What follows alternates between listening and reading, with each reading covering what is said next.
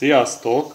Most nem fogast, hanem lazacot fogok kárpáti módon elkészíteni, megmutatom nektek ezt a módszert. Ehhez nagyjából annyi kell, hogy két serpenyőbe fogok egyszerre dolgozni, frituba sütöttem egy kis krokettet, és ez megint egy nagyon-nagyon gyors étel lesz. Úgy kezdem, hogy a hátsó serpenyőbe teszek egy pici olívaolajat, és jól felforrósítom, abban rostom meg fogom sóval sütni a lazacot, és itt az elsőbe meg teszek egy pici vajat, és ez lesz most az első videó, amiben megmutatom nektek a lisztes vajnak is a használatát, aminek már fent van a videója, majd belinkelem a végén, mert az egyik kedves nézőm jelezte, hogy jó lenne, ha némi extra technikákat is mutogatnék már, hát most ha ezt kell én szívesen mutogatok.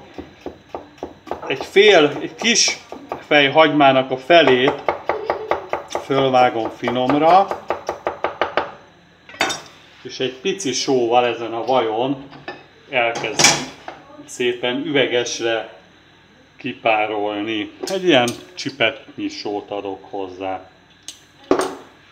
És most hevül a hátsó serpenyő, meg ezt elkezdem szépen forrósítani, vagy hát megfidítani. Miközben ez elkezd itt szépen megüvegesedni, nem kell majd színesre pirítani. Itt 20 rákot kiolvasztottam, ez királyrák, de lehet ilyen koktélrákból, bármi egyébből csinálni, meg 20 deka gomba fog majd kelleni, amit szépen ilyen nagyobb darabkákra vágok, mert hát ugye a gomba azért az jelentősen össze fog esni. Ha koktélrákkal csinálnám, akkor apróbra vágnám a gombát. Tehát van egy ilyen darabolási szabály, ezt már több videómban elmondtam, hogy mindig nagyjából ahhoz a, a alapanyaghoz daraboljuk a többit, amit nem fogunk fölvágni. Ha koktélrákkal csináljátok, az a legolcsóbb rák, akkor apróbra kell vágni a gombát, hogy a végén jól nézzen ki majd a, a étel. És ez, amikor itt szépen elkezd megüvegesedni, még egy picit pirítom, akkor rádobom a gombát. És ez még mindig csak itt forrósodik, amikor már majdnem füstöl, akkor fogom beletenni a halat. Na most már a serpenyő is jó forró, nagyjából ilyen egyforma vastagságú, ezt különböző helyekről vettem, de mindegy, bőrözött lazacfilé, simán így ráteszem a serpenyőbe, és ezt csak egy kevés sóval fogom megsütni. Most meg is sózom egy picit, nem teszek rá túl sokat. És ha nem akarjátok, hogy minden tiszta olaj legyen, akkor lehet venni, ezt 2000 ért vettem ilyen hálót, amivel le lehet takarni. Na, közben a hagyma már szinte túl is pirult, beledobom a gombát. És most ezt is egy picit meg fogom pirítani. Hát addig, amíg elkezd összeesni, és egyből hozzáadom a rágot. A rágot azt alig fogom hőkezelni, mert nem szeretném, hogy ilyen gumis, rágós, száraz valami legyen, és ez igaz a lazacra is.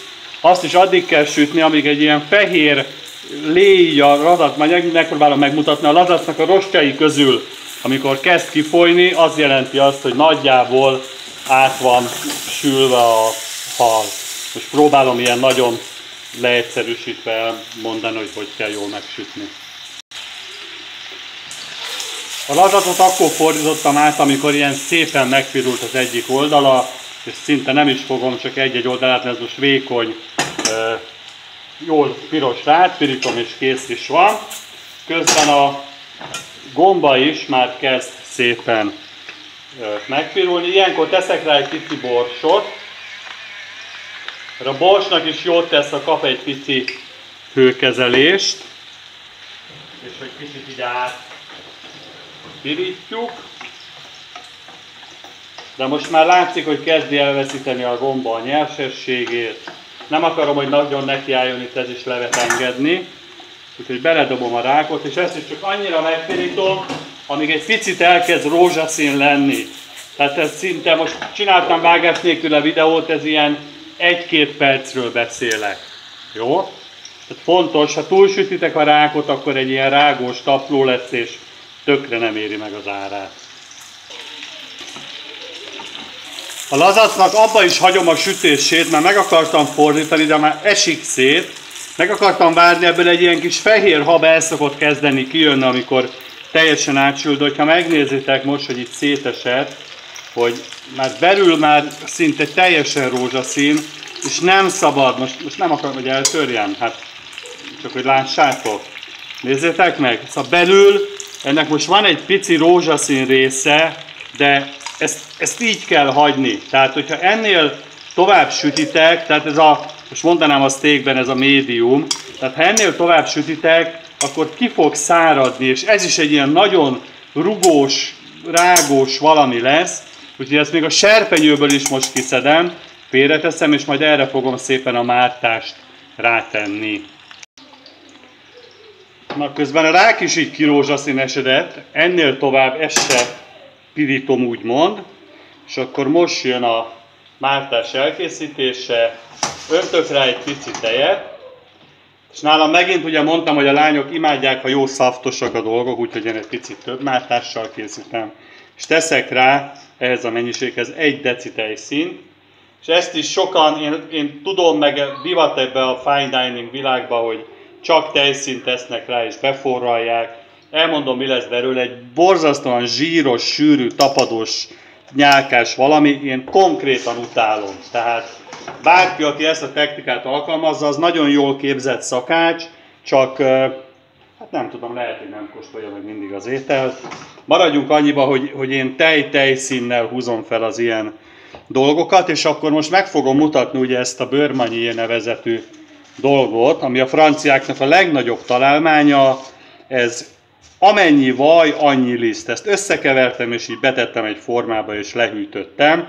Tehát, hogyha ebből kettő dekát beleteszek ebbe, akkor egy deka lisztet tettem hozzá, viszont a vajnak az ízével is sűrítem az ételt, vagy sűrítem, dúsítom a, az ételt.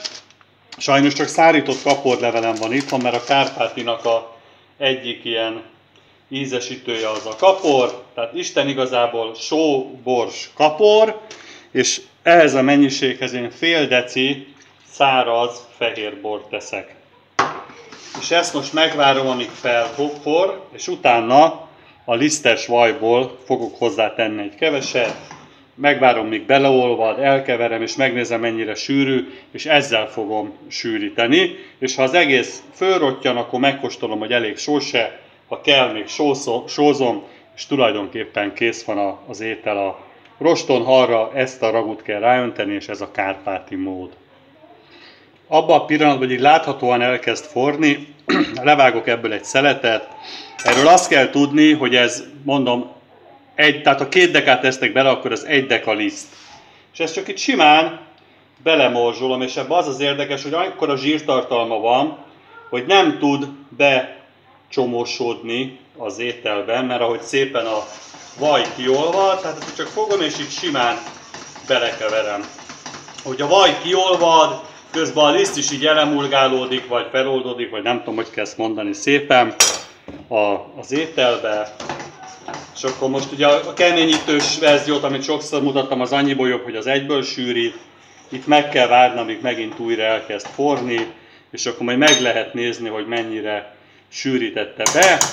Ha picit sűrűbb szaftot akarunk, miután elkezd forni, akkor teszünk hozzá még egy kis lisztes vajat. És ezzel így kell sűríteni, hogy ez a vaj ízével dúsítja, plusz liszttel sűríti az étel. Csak ilyenkor várni kell egy fél-egy percet legalább, hogy meglássuk, hogy mennyire kezd el sűrűsíteni a liszt, amit belevittünk a, az ételbe.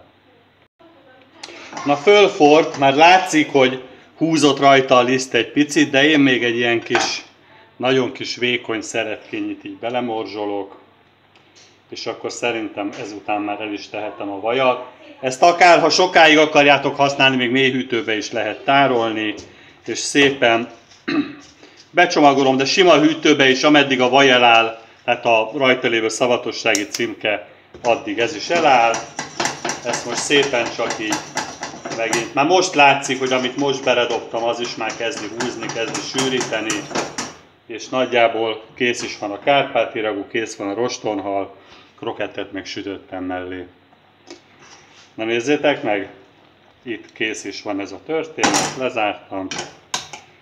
Gyönyörű, szép, krémes mártást kaptunk, rákkal, gombával, kaporral, sóval, borssal, és most még annyi dolgunk van, hogy utánsózzuk, tehát hogy amennyi sót még igényel, és lehet szépen tálalni az ételt. Én mondom, ezt most burgonya krokettel csinálom, de pürével, rizssel, tudom én, hasábburgonyával, ha valaki ilyen sült krumpli van, simán, vagy egy jó petrezselymes krumplival is akár simán lehet adni. És most már ugye csak annyi van hátra, hogy a kis roston halra rátesszük a kis ragút, egy kis gomba, egy kis rák megfelelő mértékben, és tulajdonképpen lehet kóstolni. Ugye a hal az akkor jó, hogyha középen egy nagyon-nagyon picit még ilyen rózsaszínes, tehát hogy, hogy szinte szét, tehát hozzáértek, látjátok, és itt szét kell, hogy essen. Tehát ha ezt tovább sütitek, akkor főleg a lazacnál igaz, akkor egy ilyen rendkívül rágós, gumis valami lesz belőle. És hát ez az egyik legnagyobb ilyen úgymond magyar kaja. Ez mi a tanulókoromban, ugye rákkal együtt. Tudjátok, ez nem az olcsó kategória, de nagyon gyorsan meg lehet csinálni. Nagyon finom, Odafigyeltek erre a pár apró dologra, amit mutattam, hogy nagyon-nagyon jó ételt lehet belőle készíteni. Úgyhogy bátran csináljátok meg, jó étvágyat kívánok hozzá, jó főzést, könnyű hajákat, sziasztok!